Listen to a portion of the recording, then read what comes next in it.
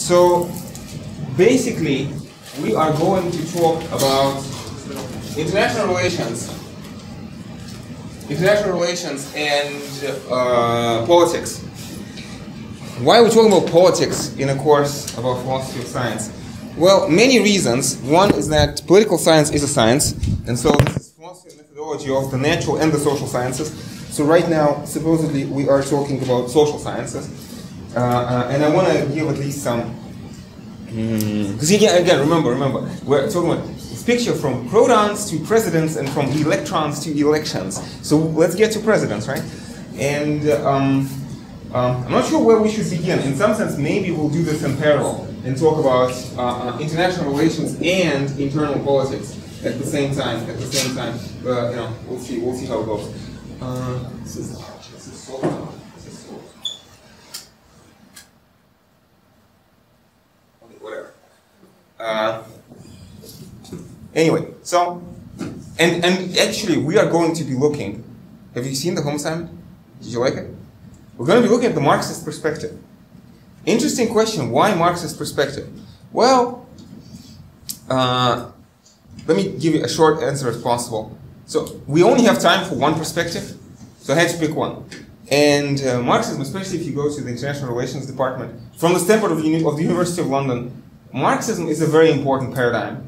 But it's not all of international relations, obviously, but, but that's a start. And basically, in some sense, um, if you want to look at uh, other paradigms, that's fine too. But you have to start somewhere, and uh, that's number reason number one. Uh, but maybe more important reason why Marxism and not some other paradigm is because um, see, consensus side of the issue again. I keep talking about this all the time. So conflict, consensus. Uh, it's an interesting set of terms uh, I keep circling around in my head and we keep coming back to from time to time.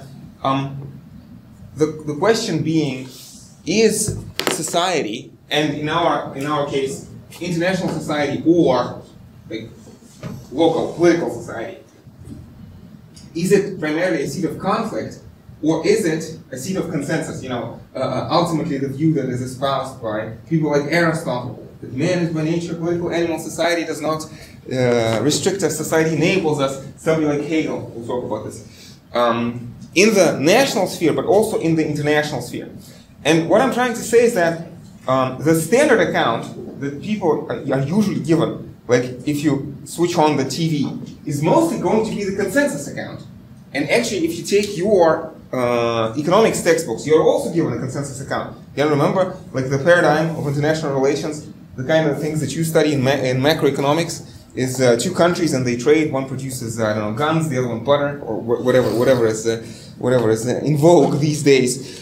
Um, and it's it's a, it's a it's a win-win. Do you remember? It's a win-win situation. It's always profitable to trade. International trade is always a good idea. Protectionism and nationalism is always a bad idea, according to your uh, first year, and second year, and actually third year, whatever, uh, uh, economics textbooks. So what I'm trying to say is that you have enough exposure to consensus accounts as far as I'm concerned. So I want to look at the most important conflictual account, which is again for again uh, which which is uh, in a certain objective sense uh, Marxism. Again, objective in what sense? In the sense that if you open a textbook in international relations from the University of London, not not from some uh, damn fool technical school that teaches you how to uh, tie your shoes, it doesn't, doesn't even teach you that.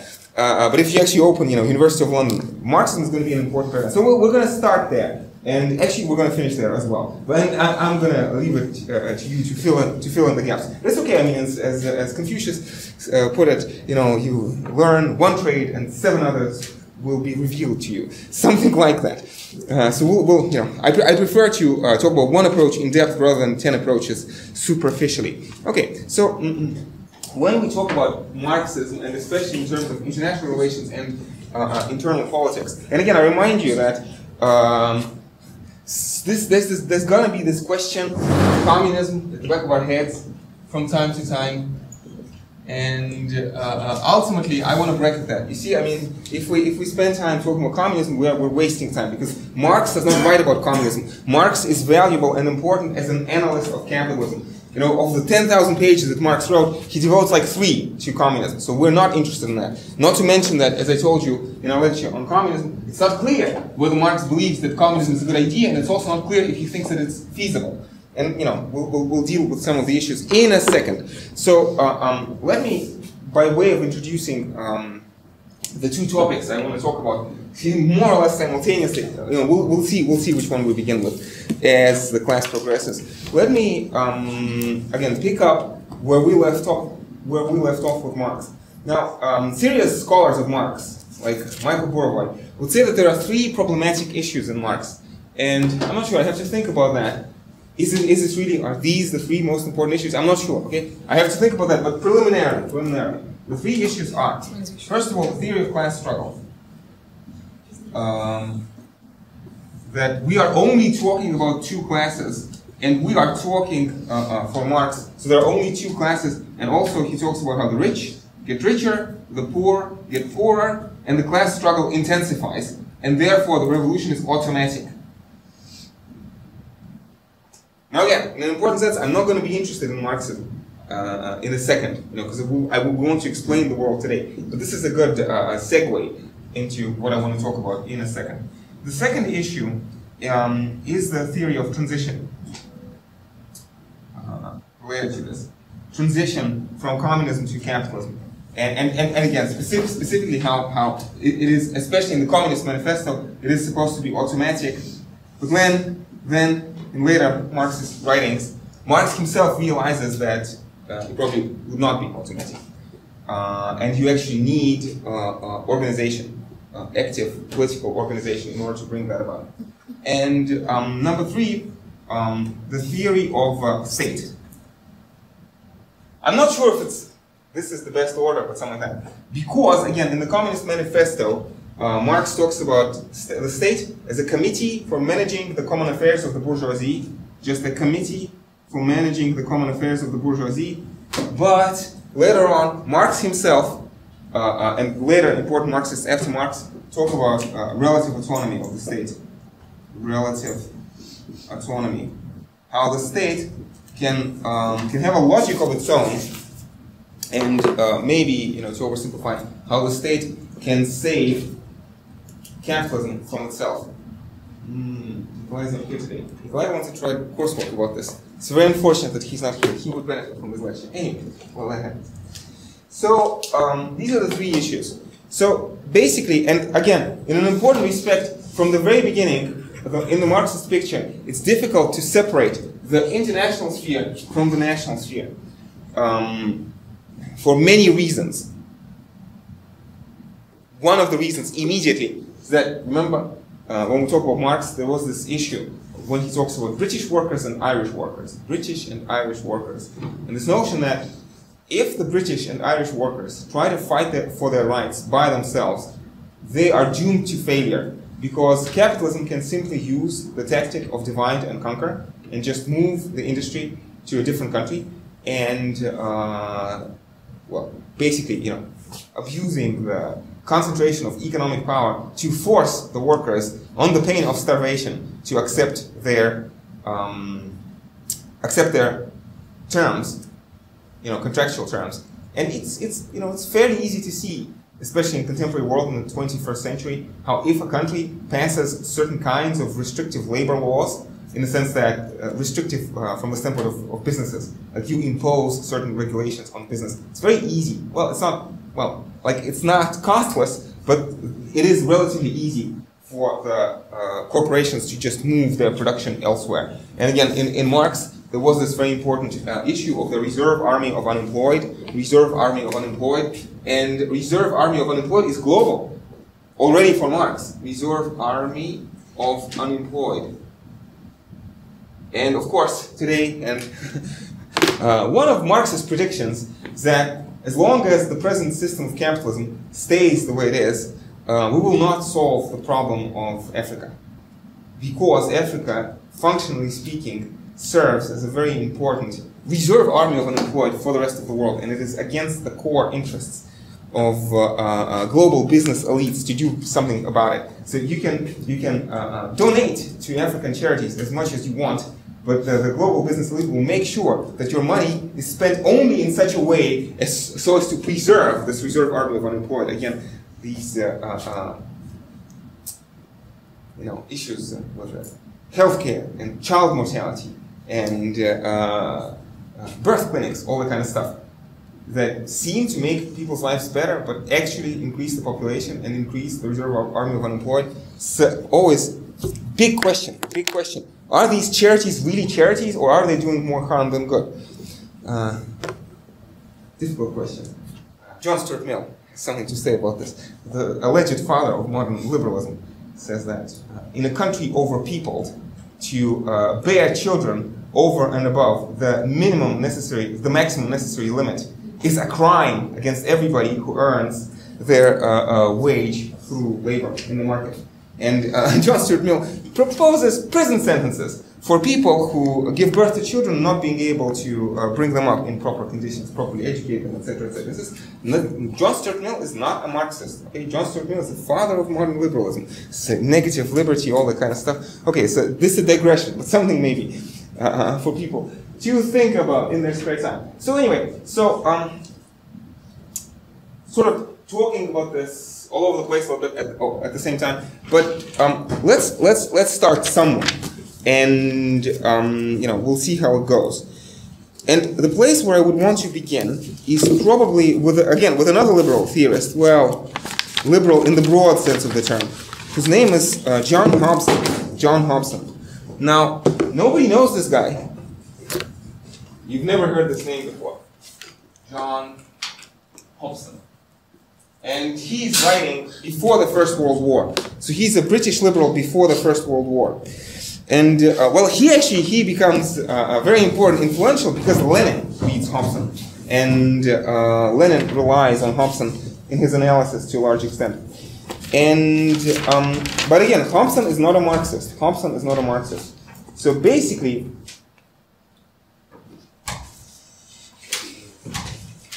Okay. So basically, um, Hobson is like a, you know, this uh, Adam Smith style liberal, and uh, he is he is a big big believer in competition, competitive competitive uh, market liberalism. And but at the same time, in the England of his day, so we're talking about the end of the 19th, the beginning of the 20th century, before the First World War. He talks about how there are power groups, cliques, cliques of businessmen and of politicians who um, abuse the state machinery for their own private gain. So he is for competition, but what he actually sees are monopolies and concentration of power. And um, well, this is this is this story. This story is not new. Obviously, you've heard about this.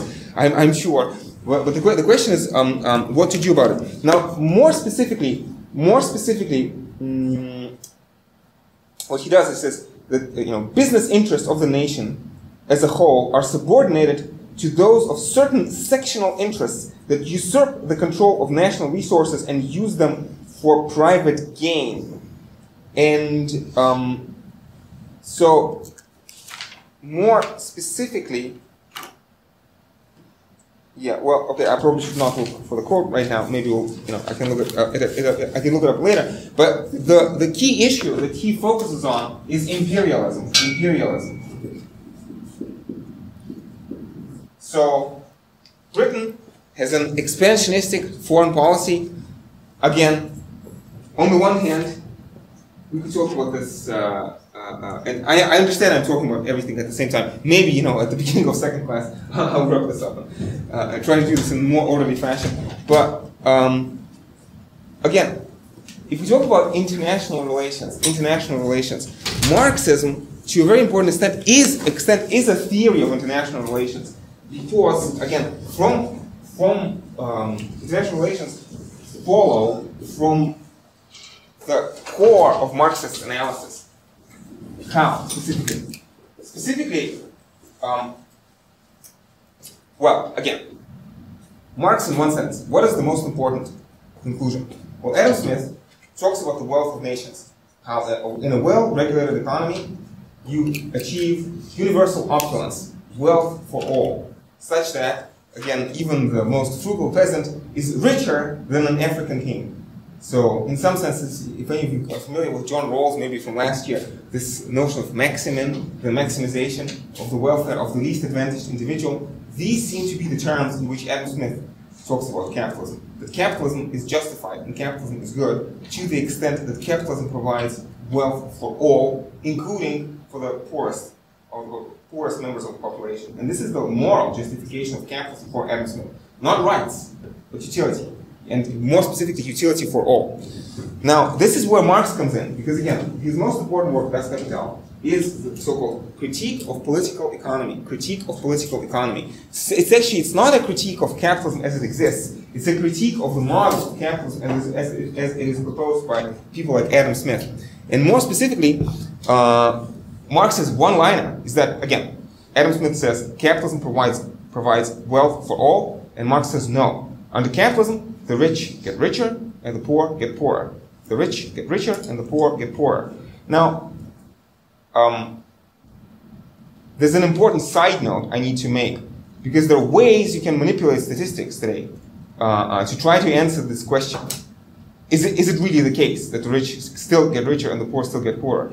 And uh, um, my one liner is that yes, if you look at the statistics right way, in the right way. You, you, should, you should see this trend even today. Now, it's tricky, and I should come back to it, so let me, let me make a note to come back to talking about statistics. Although, although, as I say this, of course, this is obviously it's an empirical question. So if you look at, you know, if you if you if you can enlighten me, if you can, if, you, if reading of statistics is different, I would be more than happy to talk to you. Because uh, remember, skeptic first, Marxist second. So uh, uh, I think it would be uh, sort of interesting to talk about this uh, critically and in details. To what extent is this true? So anyway, so the rich get richer and the, and the poor get poorer. And um, uh, we talked about how, again, the idea is that um, there's a certain thing which you, you may, if you want, in a, in a, in a somewhat judgmental fashion call wage theft, wage theft, that uh, uh, uh surplus value is expropriated from the workers and uh, taken by capitalists. And very characteristically, very characteristically, capitalists do not spend this, but invest this money. And if you take money which could have been spent on consumption and you redirect it to investment, obviously you're looking down the barrel of a gun, which is called the crisis of overproduction. And uh, you know, I'm not sure. Maybe again, maybe talk about this in, in the seminar or maybe in the second lecture. But there's, there's a very straightforward mathematical equation by which you can show how uh, uh, this type of uh, economics has to lead to crisis of overproduction. And again, if you look at places like the United States of America, where approximately 50% of the population own nothing, have literally nothing. And this is supposed to be the rich and prosperous country of the world, the American dream, right? But the half of the population, their, their liabilities uh, exceed their assets. So the question is why they're not starving, and the answer is very simple, because they live on credit. Credit. But that's exactly the situation we're talking about. Again, crisis of overproduction. There are too many goods to produce, people cannot afford them, and therefore the banks have to give loans, and these loans will never be repaid. And which is why, again, Marxist analysis of the crisis of 2008 is that it is a crisis of overproduction which has been shifted into the um, into the uh, banking sphere but again, essentially, it is a crisis of overproduction. So, how do you get? How does this generate international relations? Well, obviously, because um, um, um, well, in addition to being, you know, uh, sources of uh, uh, uh cheap labor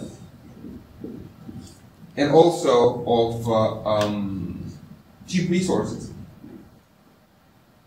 So I'm talking about external markets. External markets. External markets, in addition to these two, also very importantly, provide outlets for goods and capital.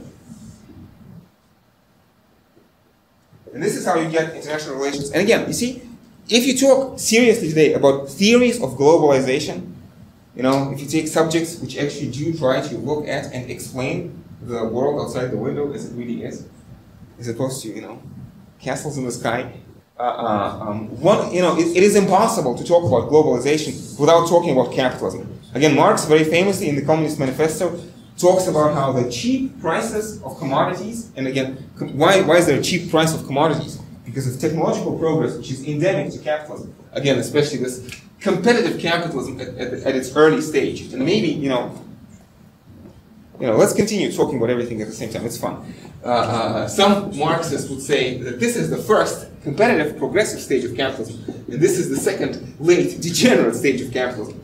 Well, um, opinions may vary, and again, always, always think back to Max Weber. Always, let's keep Max Weber in our hearts. Could it be that these are ideal types and the real world is a combination of two? And yes, maybe we're mostly in the second stage, which is monopoly degenerate capitalism, but still there's some competition somewhere, so it is at least to some extent progressive. And again, there's this guy in your home assignment, I'm not sure if you paid attention to, whose name is Bill Warren, I think, Bill Warren, who keeps talking about how, um, how capitalism has not finished doing its productive work. That it is, and again, Nikolai is not here today, it's such a shame uh, that it is uh, too early, too early for communism, because uh, capitalism has not finished its historical mission. So let me go back a step to Marx. So Marx, in the in the Communist Manifesto, talks about how capitalism is the best thing that has ever happened to humanity. Again, competitive competitive capitalism gives you uh, technological progress. Technological progress leads to these cheap goods and uh, um, companies in competition with each other. And again, Marx thinks this is good. This is wonderful and necessary for communism regardless of this question whether communism is possible or not. Mm-hmm. Again, Marx is important as, an analyst of, cap, of capitalism, and again, somebody who points out very important, positive, progressive role. Again, communism is not here. So capitalism, of the actual existing conditions for Karl Marx, is the best thing that has happened to humanity. I cannot stress this enough. Anyway, so let me go back a, a, step to this internationalization. So international, so yeah, again, so if you look at theories of globalization, it is impossible to overlook the importance of global capitalism. And more specifically, again, capitalism through competition is forced to look for new markets, again, firms competing with one another, make the world globalized. And Marx thinks, among other people, that this, this is an excellent thing. Again, that this unites the whole world into a single place, destroys feudalism, which Marx thinks is, is, is uh, bad and wrong for his own reasons again. Feel free to disagree, uh, uh, but still. Um, mm. so, again, internationalization of trade, internationalization of labor, and, uh, um, you know, Marx would say it's good, but if you want to be a neutral social scientist, let's not use the words good or bad. We are not asking whether, whether globalization is good or bad. We're asking why does globalization happen?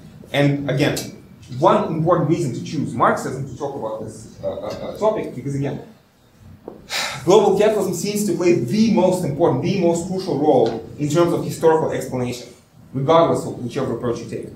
Uh, uh, in the sense that, again, at the root of globalization, we have search for new markets. Again, let me let me repeat what's written there on the board. So there are, there are at least four reasons. Maybe I'm forgetting something, but these are good ones to start. So immediately, it seems cheap labor and, and cheap sources of resources. This is fairly straightforward. Uh, uh, you know, companies compete against one another, but also remember, capitalist countries compete against one, one another. Like, for example, Britain competes against France, competes against Germany, and this is what, what is driving the so-called new imperialism, which happens at the time of John Hobson, this uh, uh, um, new imperialism at the end of the 19th century, or second half of the 19th, beginning of the 20th century, basically up until the First World War. Mm.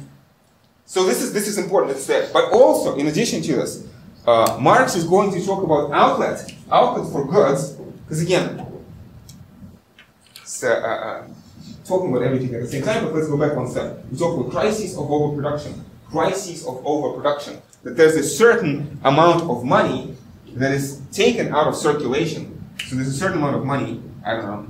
Let's let's let's uh, uh, call it uh, delta m, whatever that is taken out of circulation, and this is exactly the same, uh, this is not mathematical, but whatever. Now, it's exactly equal to, uh, uh, to amount of money. So, so, so, so, so this, this becomes, this becomes investment. This becomes investment. And this is exactly the amount of money that is uh, uh, not going to be consumed. Um, so, I'm a capitalist. I do not pay my workers enough money. Again, some Marxists would call this wage theft.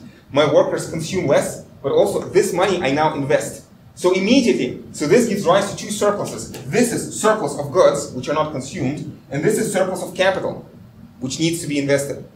And there's only so much space to invest at home. So abroad, you need foreign markets, very, impor very importantly, to uh, uh, sell your goods to, but also to find new places to invest. And this is why, uh, again, at the root, for Marx, capitalism necessarily leads to globalization.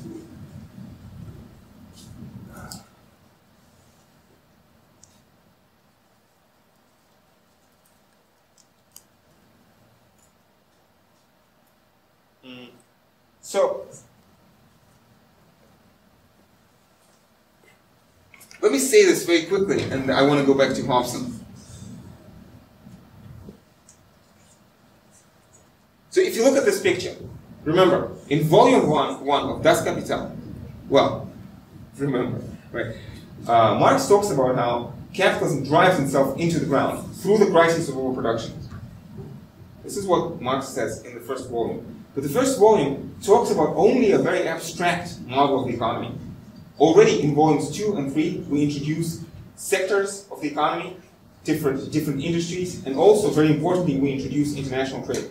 And when you look at the picture this way, that there are, that there are these safety valves to which excess goods and excess capital can escape, immediately it becomes clear that this problem, number two, or maybe maybe this problem number one, talking about class struggle, that uh, uh, uh rich get rich, poor get poorer, class struggle, class struggle intensifies, and basically, basically, again, Marx in Das Kapital talks about how the bourgeoisie forces the workers to unionize within the country, forces the unions to unite across countries, and, and forces them, in some sense, to bring about the uh, um, um, proletarian revolution. And again, in this in this classical base superstructure style, how the base causes the changes in the superstructure.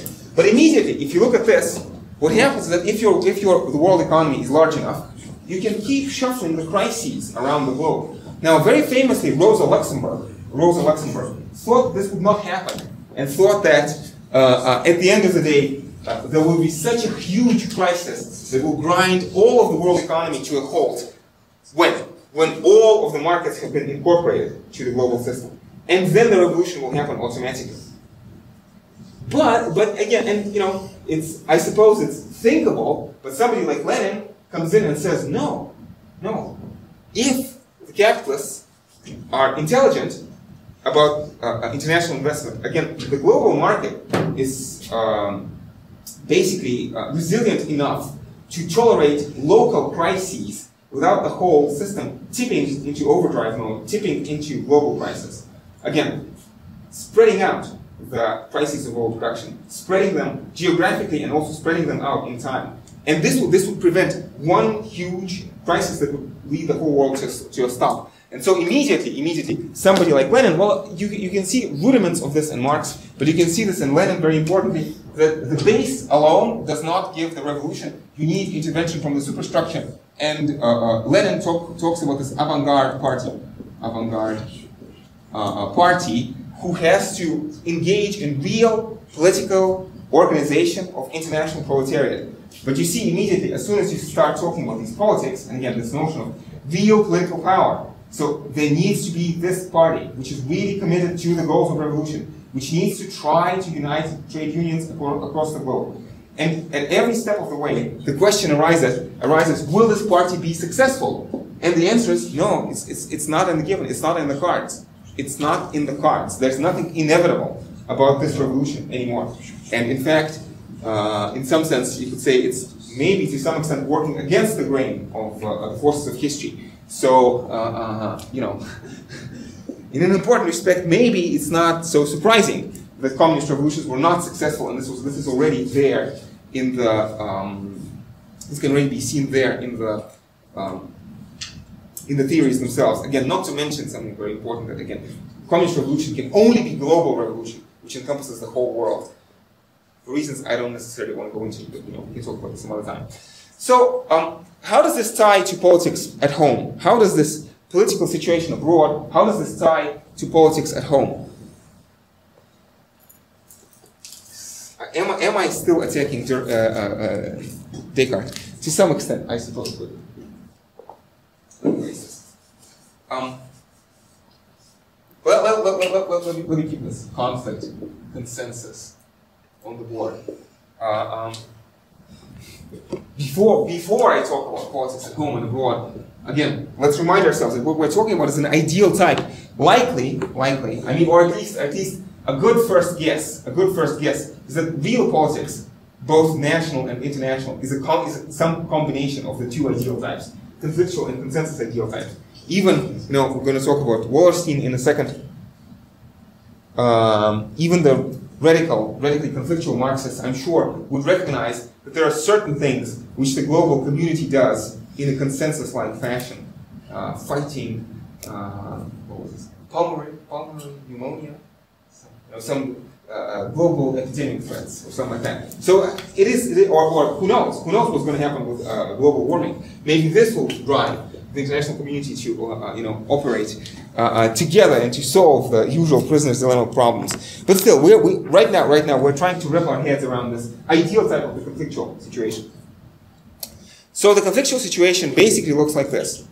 Uh, so maybe, maybe, maybe I should start with Wallerstein and then proceed to Gramsci. Is Wallerstein a good introduction to Gramsci? I suppose, but I want to talk about both. Um, so okay, so there's this wonderful guy whose name was Immanuel Wallerstein, and hopefully he's still alive. I hope he's still alive. Or did he die like recently? Yeah, he died like this spring or something. Yeah. Okay. Uh, and again, he's American, so he he calls himself Wallerstein. But for some reason in Russia people call him Wallerstein. But, but he himself, I mean, he pronounces his name as Wallerstein.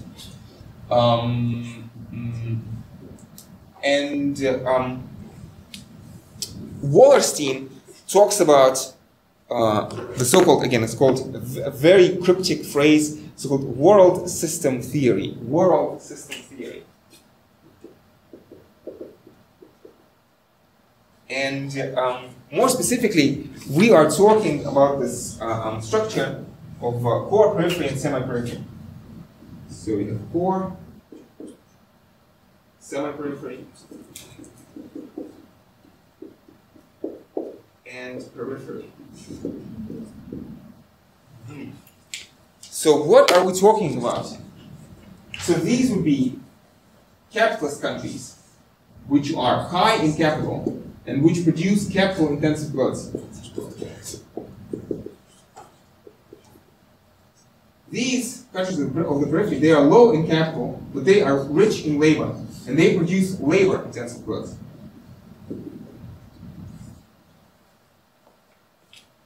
Uh, semi-periphery I'll talk about in a second. So, again, if you think back to this example of uh, uh, your macroeconomic analysis, uh, Britain and India, Britain and India, uh, uh, guns and butter, and your, like, again, standard Ricardian model on which free trade is always beneficial to everybody. Well, again, imagine this situation. We're in the 19th century, and Britain produces railway railway engines, basically.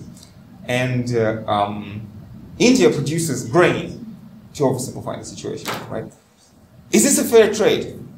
We see it as an important um, element of uh, market power. Few countries in the world produce railway engines. So Britain has a lot of leverage vis-a-vis -vis India. Whereas grain, anybody can produce grain. So these, these industries tend to be highly competitive. And therefore, the market power of individual producer is low. But also the market power of the countries, which is based on the system, is also low. So, but these industries tend to be, because they're capital intensive, they tend to be highly monopolized. You know, think of uh, uh, uh, nuclear warheads. Not many countries can produce them. And market power tends to be high. So the situation of free trade, the situation of free trade actually would favor Britain. This would be an unequal exchange. Britain would be in a position to extract the surplus from, from India. And um, if you think about this, so, so again, so we're talking about the, as some people call this, the development of underdevelopment. The development of underdevelopment. How, um, because the rules of the game are set by the countries of the core, um, the periphery will not be allowed to industrialize um, in the same fashion to the same degree. So basically, a country like India will be perpetually kept in this uh, uh, labor-intensive state, or at least, again, it's an ideal type, a tendency. A tendency is there. So, mm, how should we put this differently? Mm, what India needs in order to, let's say, start producing its own railway engines, or let's say rocket engines, right, um, is protectionism. But the trouble is that, uh, you know, if Britain, sorry, if India tries to impose protective tariffs against United Kingdom, United Kingdom has a lot of power to mobilize against India. Uh, you know, these uh, trade wars, tariff, tariff wars, tariff wars can be really devastating for uh, weaker economies. That's point number one. But point number two, even if you could somehow get around that issue, there's always uh, um, the issue of military power. And you know, let, let's not forget, not everything hinges on military power, but military power is important. And uh, of course, some people don't always immediately recognize this, but to a large extent, especially in contemporary world, but also, you know, in the past several hundred years, military power is first and foremost tied to economic power.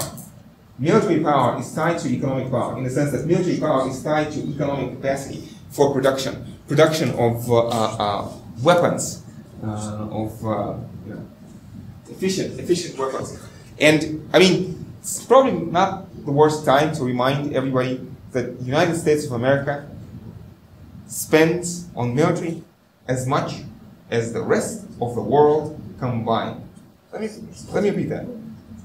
If you take all the world's military spending, if you combine it, it's going to be less, or approximately equal, to the amount that America spends. So let's not forget about military power. So again, Marx talks about ideology, basic superstructure, but again, military power is always there. Police power is always there. It's not the most important element for Marx, and it, it, it, um, it is derived from economic power for Marx. Economic power is going to be more primary, but it, but it is an important element in the system. So, I, you know, I'm sure this could be done in a, maybe in a more rigorous fashion, but at least preliminarily, this is what we're talking about. And the countries of the core will be in a position to exploit the countries of the periphery. And again, again, if this is if this is too abstract, let's think about this in historical terms. The countries of the core are the countries of Europe, especially uh, in the beginning, Britain, France, maybe Germany to some extent, later United States of America. So we're talking about few advanced countries in the world which are in a position to uh, uh, dominate and exploit the rest of the world. Uh, my conservative Marxism mm, here, uh, is this a good thing? Is this a bad thing? I don't know. You know we're talking about descriptions. let's, let's think about evaluations uh, uh, elsewhere. But Marx himself does not think it's a bad thing. Marx himself thinks it's, it's good because this is, well, I don't want to say good like per se, but this is necessary in terms of historical progress, and this drives the progress of humanity uh, um, into the future, regardless of what. We can think about this. Uh, evaluations at a different time. Let's go back to this picture. So, and, and the countries of, of the periphery are numerous, and the countries of the core can always employ the strategy of divide and conquer, of trying to pit the countries of the periphery one against another. And so, you know, in some sense, Wallerstein says that this is a structure of power which emerges a long time ago, emerges basically in the beginning of the Industrial Revolution. It, it leads to globalization, and it leads to a certain particular unequal character of globalization. And this unequal character of globalization is preserved throughout the system, more or less. There is some shift. Some countries of the periphery shift into semi-periphery. Let me talk about this in a second. Some countries of the semi-periphery get into the core. So there is some mobility, some mobility in the system. But by and large, this is a rigid structure, rigid structure with a rigid core. Now, what are the countries of semi-periphery? Well, Wallerstein, again, in some sense, always, Max Weber, ideal types, ideal types. Uh, Wallerstein doesn't want to talk about uh, semi-periphery goods. He thinks there are core goods, which are capital intensive, and there are labor, labor intensive goods, which are peripheral goods. He doesn't talk about this category in the middle. I should, you know, maybe we could think about this in the seminar. I'm not sure if I can think of real examples of these semi-periphery goods. What would they be like? But Wallerstein says that countries of semi-periphery are the countries that act as countries of the periphery vis-a-vis the core, and act as countries of the core vis-a-vis the periphery. This is what he's talking about. So let's say if your country exports raw materials to the United States, but then exports high tech to Africa or something like that, then you are semi-periphery. But again, semi, he defines semi-periphery as periphery vis-a-vis the core, and core vis-a-vis the periphery. Now, the key issue, and immediately, I'm, we're talking about power, we're talking about political relations. Why is this important for political relations? And then, this guy, and then there's this guy, John Hobson, who is hanging out there, uh, and I, I, need to get back to him. The problem with this picture is that if you look at it, and again, Marx talks, Marx talks about two classes, the bourgeoisie and the proletariat. And uh, in principle, it seems that he's right. It's appropriate to talk about just two classes. Yes, there's the middle class, but in the large scheme of things, there are so few that it's not really important for the purpose of analysis. The vast majority of the population on planet Earth are working class. They, they, they're forced to work, they must work. And uh, kind of preliminarily, this seems like a good analysis. But if you look at Wallerstein's picture, immediately, immediately you see a fatal flaw in Marxist uh, uh, notions. And the fatal flaw is this. How about we talk about not two classes, but about four classes?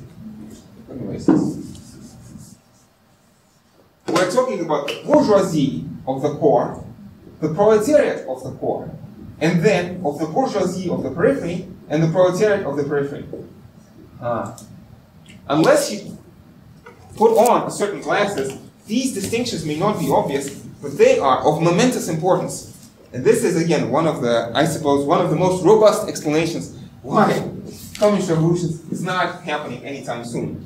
Now, more specifically, what we're talking about is that, so these would, these would be the elites in the countries of the periphery, and, and these would be the elites uh, um, in the countries of the core. And the idea is that there are two distinct modes for these two elites to keep themselves in power. In the countries of the core, we are talking about concessions. We are talking about economic concessions. And in the countries of the periphery, we're talking about violence. So, aha. So now we're getting from international relations to local politics. Have you seen uh, uh, CGP Gray's video, Rules for Rulers? No? Ah, seriously. It's a brilliant video. We watched it like 15 times. But you know, it's pretty good. But he doesn't talk about this, so it's, it's not it's not all that good. Anyway, but there's there's a reason.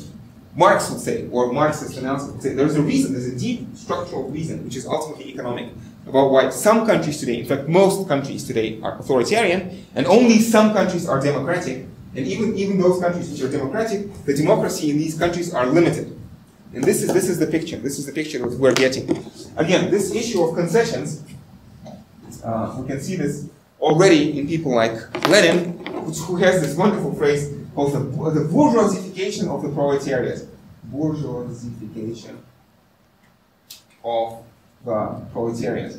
When basically, again, the bourgeoisie in the advanced countries is this true democracy. Marxists would call this, Marxists would call this capitalist parliamentarism and not true democracy. Capitalist parliamentarism they drop some breadcrumbs from the table to the proletariat to keep them pacified. Oh, this is, I, I, almost hear echoes of Marcuse. Marcuse has exactly this. I mean, has, at some point, recounts this exact argument for a reason, of course, because Marcuse is a Marxist. Uh, uh, but again, that this notion that what, what, what you are getting in the advanced countries is this situation where the elites stay in power and just uh, drop enough breadcrumbs to the to the proletariat to keep them pacified. And, and this allows a certain uh, uh, democratic system or a certain illusion of a democratic system to persist. Whereas in the countries of the, of the periphery, it's not important. Uh, the elites, first of all, don't have breadcrumbs to give to the poor. And, and secondly, these are labor-intensive economies. You don't need education. You don't need you know, highly productive workforce. You need, you know, if your people are poor and hungry, excellent. They're even, they're going to be even better laborers in your labor-intensive industries. Whereas in the countries of the core, you need, you need a population which is well taken care of, fed, clothed, you know, vaccinated, uh, but also, well, I, I, suppose you also want to feed, clothe, and vaccinate your workers in the periphery so that they don't die in your factory. But here you want to invest in their human capital. You want to invest in their development. You want to, again, because this is capital intensive industries and this is labor intensive industries. Um, so, and um, What Hobson basically says, I'm kind of jumping all around the place, but again, Hobson is a liberal, and basically his his idea, and Hobson is writing before Lenin. Um, he's basically saying that again, you have these sectional interests. So a minority of the country, he's talking about Britain at the end of the 19th century, sectional interests. So few, as he calls them, cliques. Cliques. Have you heard this uh, word before? Cliques. Clique. Uh, uh, well, basically, again, organized groups of uh, uh, powerful minorities in the country abuse the national um, interest in their own favor and he thinks it's horrible for Britain, and he, you know, he wants to uh, uh, try to get out of the situation. But there are two important elements in this system. What do these cliques do specifically? Well, first of all, the first thing he talks about is military spending. Military spending. Because again, again, Hobson is writing well before Wallerstein, but the key idea is the same. The exchange between Britain and India is unequal. The exchange between Britain and India is, is unequal, and it's only kept uh, at, at bottom by military force. And so we have this military spending. Military spending, which is, uh, uh, again, in the interest of the British corporations against the interests of the majority of working British people. Hobson, the liberal, says. Not Hobbes, but Hobson, right? And um, the second, the second issue is nationalism. And this, oh boy, this is such an important word nationalism. This idea that, again, the phrase it uses is that uh, the elites feign, feign, fake, si imitate, simulate national rivalries to keep the people pacified. So if somebody tries to speak out against this uh, exorbitant military spending, he's immediately branded as a traitor. What? Do you want Germany to win against Britain? Do you want, uh, uh or today? No. Do you want America to spend less? Do you want China to win? Um, again, and, you know, in some sense, like if, if I had one word to say why communist revolution has failed, nationalism. Nationalism. Um, uh, and again, remember, in Marx, it is a crucial element of the system that, uh, that, that, there has to be an internationalization of the workers' movement. The trade unions need to unite across the countries, and this is what prevents this is what prevents them from doing that. And again, especially this nationalist rhetoric. Um, yeah, he says. Um, so the new imperialism, which again, new imperialism through through this uh, perpetuating through military force the system of unequal exchange, um, um, only works in the interest of competing cliques of businessmen. And by the way, if you want to read about Hobson, he's in the supplementary reading for this class. Investors, contractors, export manufacturers, and certain professional classes. These cliques usurp the authority and the voice of the people and use the public resources, military spending, to push their private interest and spend the blood and money of the people in the vast and disastrous military game, feigning, faking, faking national antagonisms which have no basis in reality.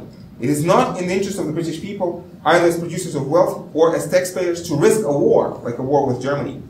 But it may serve uh, the interest of a group of commercial politicians to, pr to promote this dangerous policy. Yeah, so long as this competitive expansion for territory and foreign markets, markets is permitted to misinterpret itself as national policy, the antagonism of interest seems real, and the people will sweat and bleed and toil to keep an ever more expensive machinery of war.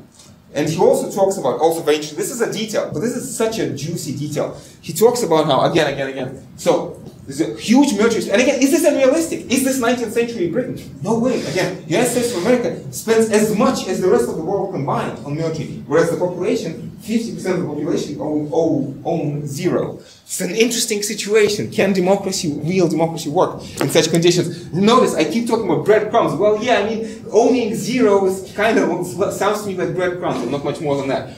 Anyway, but in addition to this, so so the, the government spends huge amount of money, which only serves the interests of the tiny minority of the bourgeoisie, um, and uh, um, clothes clothes this spending in nationalist rhetoric and brands anybody who tries to oppose that as a uh, uh, as a traitor. But also, very importantly, this spending has to be hidden has to be hidden by inflationary tax. Oh, this is so beautiful.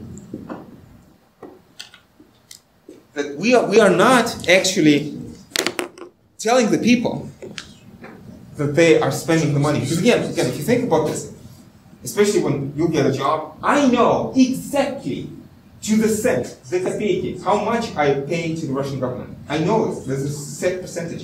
And if the Russian government tried to increase taxes, I would know and I would be upset. Well, you could say that you know most people would not see that, but I'm not sure. But at least it would be it would be visible. It would be obvious.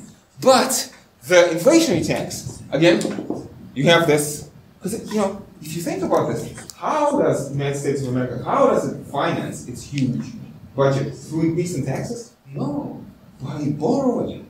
And do you know, you know, what is what is the last uh, update on the on the American national debt? Last time I checked, it was more than 100 percent of the GDP. Could be well, huh? know, as a, as a percentage of GDP. Do you remember? Well, I mean, so so it's certainly more than 100 percent. And I think I think again, check this out. As far as I remember, the global indebtedness of the world economy is is more than 200 percent. Talk about talk about Marx and talk about relevance of Marxism again.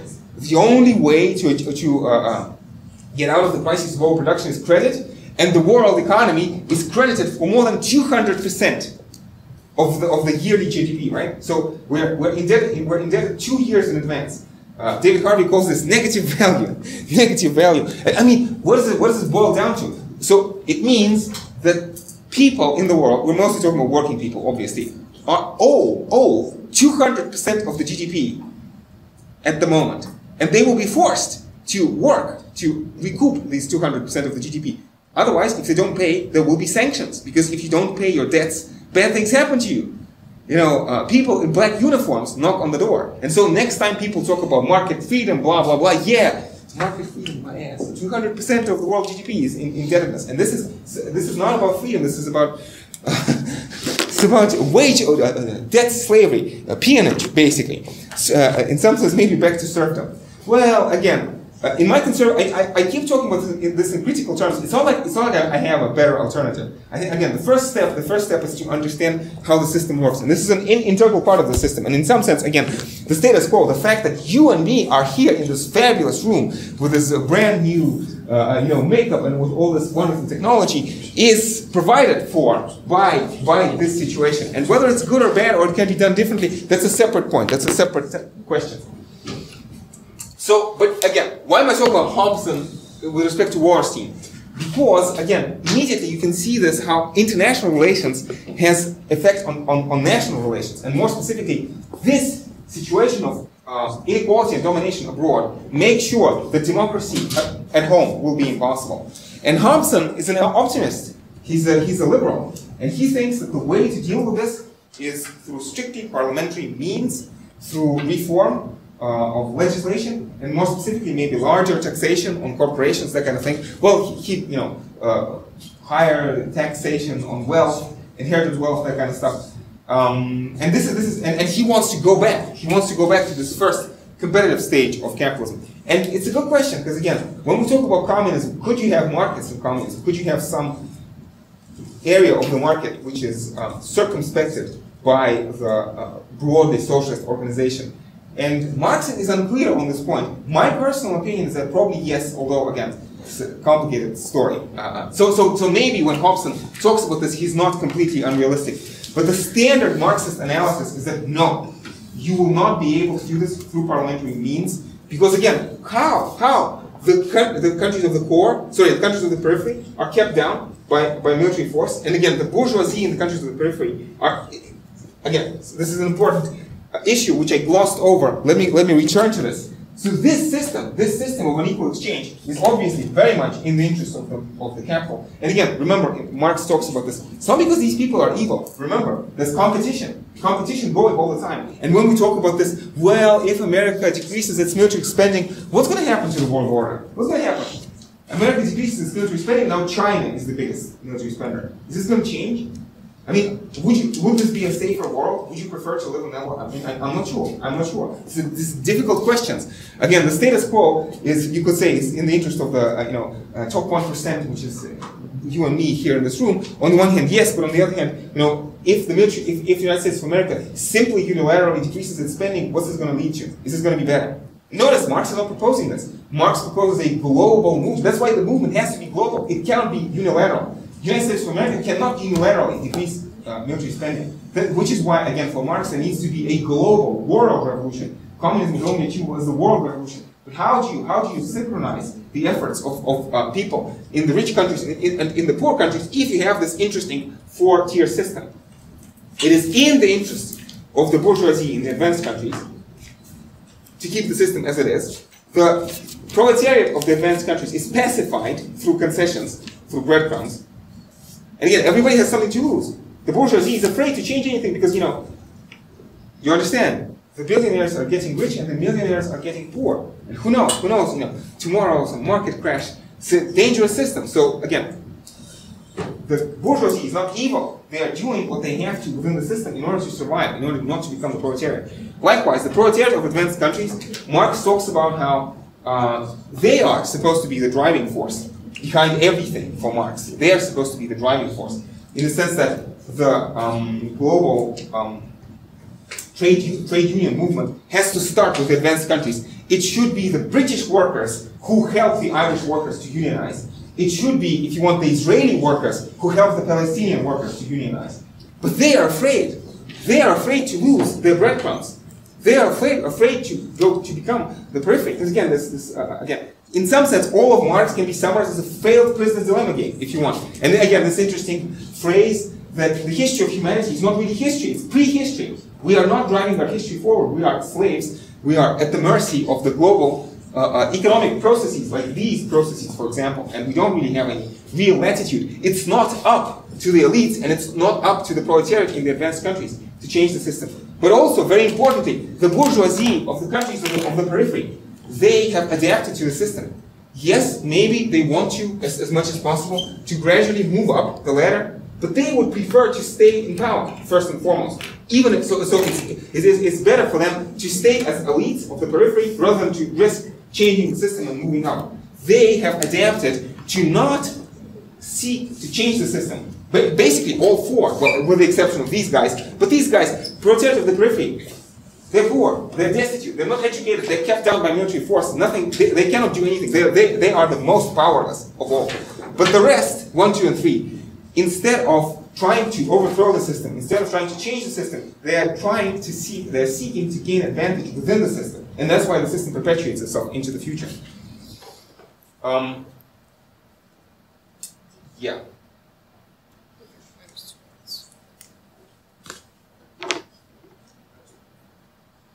So this is a certain preliminary fashion, I hope somewhat clear. And again, again, again, remember, this is an ideal time. This is a very conflictual ideal time. Again, the world which is at war with itself, everything at war with itself. Maybe there are some, like in reality, there are some rudiments of the of the consensus view.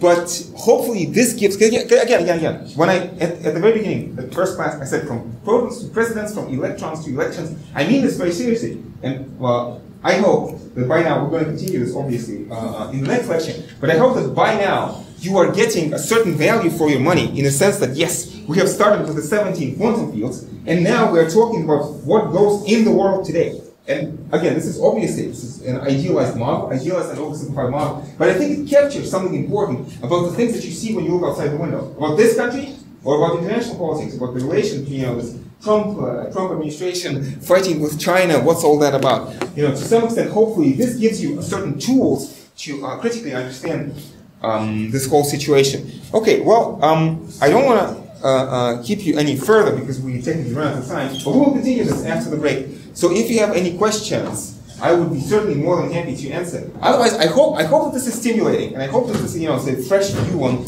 uh, economics for you. Uh, uh, and I will see you after the break, and we need to move to a different room as we're doing this. Okay.